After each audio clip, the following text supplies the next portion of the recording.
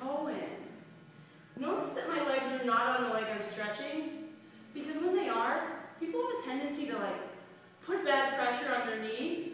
That's never a good idea. And I'm bringing my chest low but I'm not bent over. This is how you want to stretch your hamstring. It feels